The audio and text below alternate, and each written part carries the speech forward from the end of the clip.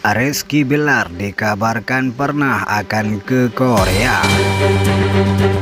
Nama Rizky Bilar dan Lesti Kejora kini sudah tidak asing lagi di telinga masyarakat tanah air. Rizky Bilar dan Lesti Kejora makin populer kala dipertemukan di acara bincang-bincang yang kemudian dianggap cocok dipasangkan saat mengisi program TV.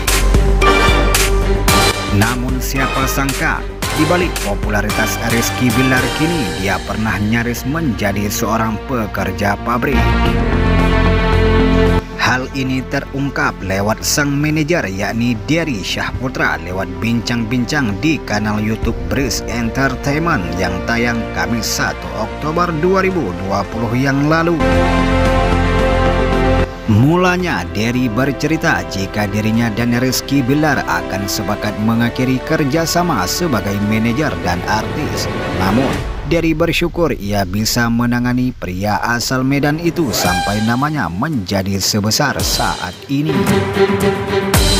Aku selalu bilang siapa pun yang mau megang Bilar silakan. Kalian beruntung pegang dia karena dia anaknya baik banget. Dia nggak neko-neko cerita Derry.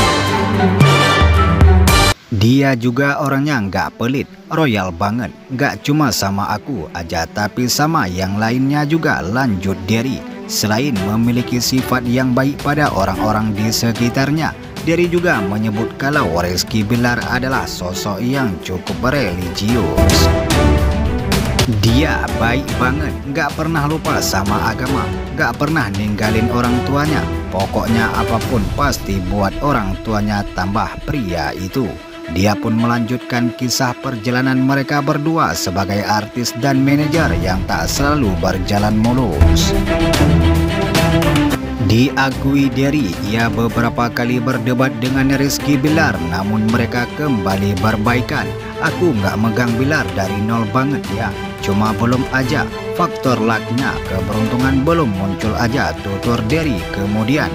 Ingat banget sinetron dia dulu sama Amanda Monopo dan Syifa Hadju di MNC TV.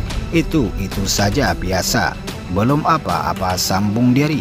Saking tak mengalami perkembangan apa pun, bahkan Rizky Bilar sampai terpikir untuk pindah ke Korea Selatan. Di sana dia pingin kerja pabrik kalau nggak salah sambung dari Oh kakaknya sekarang masih di Korea Tanya Rizky sang host di kanal Youtube tersebut. Iya kakaknya ada yang masih di Korea jawab Derry. Namun meski sudah ada pembicaraan untuk berpisah sebagai manajer dan artis Keduanya tetap menjalin kerjasama walau sebutannya sekarang adalah bekerja dengan sahabat